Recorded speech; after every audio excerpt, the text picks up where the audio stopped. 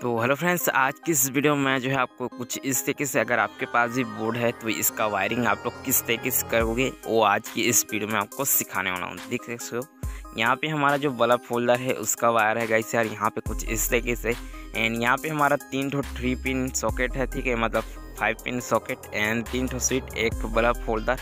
ठीक है? तो इसका कनेक्शन हम लोग जान लेते हैं किस तरीके से करने वाले हैं, ठीक है? तो यहाँ पे ये रहा हमारा बड़ा फोल्डर ठीक है? जैसे देख सकते हो आप लोग कुछ इस तरीके से। एंड इसका एक वायर को हम लोग यहाँ पे स्विच के साथ पे एक वायर को कनेक्ट कर देंगे, ठीक है? तो कुछ इस तरीके से मैं कनेक्ट कर लेता हूँ एंड आपको दिखाता हूँ। यहाँ पे जो स्विच का वायर है यहाँ पे फ़र्स्ट पे जो स्विच है, इसको वायर को कुछ इस तरीके से यहाँ पे मैं कनेक्ट कर दे रहा हूँ, ठीक है? तो इसको मैं कनेक्ट कर देने के बाद गई सर अब आपको एक सेकेंड वायर ले रहा है। सेकेंड वायर पे हम लोग स्विच का ऊपर का जो वायर है, उनको डायरेक्ट कर देना है, ठीक है? दोनों वायर पे स्विच का एक वायर पे फेस आएगा या न्यूट्रल न्यूट्रल हम लोग दे देंगे गाइस सर यहाँ पे हमारा जो जो तीनों स्विच है, वहाँ पे हम लोग फेस को देंगे, ठीक है? एंड न्यूट्रल का जो वायर है, उसको हम लोग फाइव पिन सॉकेट पे देंगे, ठीक है? कुछ इस तरीके से। एंड यहाँ पे मैं वायर को कनेक्ट कर दी हूँ फेस का, ठीक है? कुछ इस तरीके से स्विच से, इन तीनों स्विच पे। एंड हमारा जो स्विच से आया है, वो फाइव पिन सॉकेट पे। एंड यहाँ पे इन तीनों पे कनेक्ट हो जाएगा, ठीक है? कुछ इस तरीके से, जैसे कि आप लोग देख सकते हो वीडियो पे, ठीक है? एंड हमारा जो बल्ब फोल्डर है, उसका वायर भी कुछ इस तरीके से हम फाइव पिन सॉकेट के जो लास्ट वाले पॉइंट है, वहाँ पे कनेक्ट कर दूँगा, ठीक है?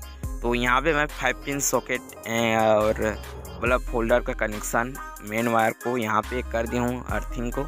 एंड ये रहा हमारा फेस वायर जो कि हमारा स्विच से आया है, ठीक है? कुछ इस तरीके दोनों वायर को देख सकते हो।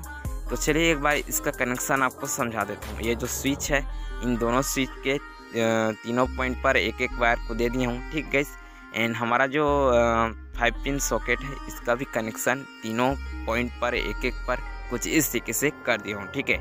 एंड अब देख सकते हो, जैसे गई सर यहाँ पे रहा हमारा बल्ब फोल्डर तो इसका एक वायर तो यहाँ पे स्विच से हो गया, ठीक है? कुछ इस तरीके से, जैसे कि आप लोग वीडियो में देख सकते हो, ठीक है? एंड हमारा जो यहाँ पे जैसे देख सकते हो, तीन ठो फाइव पिन सॉकेट है मतलब थ्री पिन है।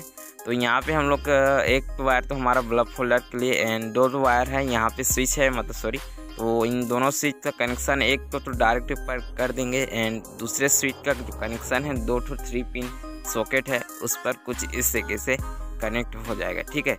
जैसे देख सकते हो यहाँ पे हम लोग कर देंगे कुछ इस तरीके से एक स्विच का यहाँ पे कनेक्ट कर देंगे एंड ये जो स्विच है इन दोनों पर इस पर और इस पर कुछ इस तरीके से यहाँ पे इन दोनों पॉइंट पर इसका कनेक्शन कर देंगे एंड उसके बाद हमारा जो कनेक्शन है गाइस सर एकदम परफेक्ट हो जाएगा। तो चलिए इसको मैं फटाफट से कर लेता हूँ। जैसे देख सकते कुछ इस तरीके से। और गाइस सर हमारा जो कनेक्शन है एकदम पूरा कंप्लीट हो चुका है। ठीक है, इसको एक बार आपको समझा देता हूँ। ठीक है तो जैसे देख सकते हो, ये रहा हमारा जो दोनों स्विच पे, तीनों स्विच का जो एक एक पॉइंट पर फ़र्स्ट पर मैं दे दिया हूँ। ठीक है? ये रहा। एंड हमारा जो फाइव पिन सॉकेट पर जो थ्री पिन सॉकेट है, वहाँ पे इसका कनेक्शन कर दिया हूँ कुछ इस तरीके से। जैसे देख सकते हो, एकदम सिंपल है। एंड देख सकते हो कुछ इस तरीके से यहाँ पे मैं कनेक्ट कर दिया हूँ तीनों पॉइंट को। ठीक है? एंड ये हमारा स्विच का ये रहा। एंड सेकेंड स्विच का जो हमारा कनेक्शन है, ठीक है? ये इधर से आते हुए इन दोनों थ्री पिन सॉकेट पर एक एक वायर पर कनेक्ट हो गए। एंड एक वायर है वो जो डायरेक्ट हो गया तो हमारा जो दोनों फाइव पिन सॉकेट पर लाइट आ जाएगा। स्विच को ऑन ऑफ़ करेंगे, ठीक है? कुछ इस तरीके से जैसे देख सकते हो। तो हमारा कनेक्शन पूरा कंप्लीट हो गया। तो आज के लिए इतना ही गए सर मिलता हूँ नेक्स्ट वीडियो में. तब तक के लिए जय हिंद, जय भारत, वंदे मातरम.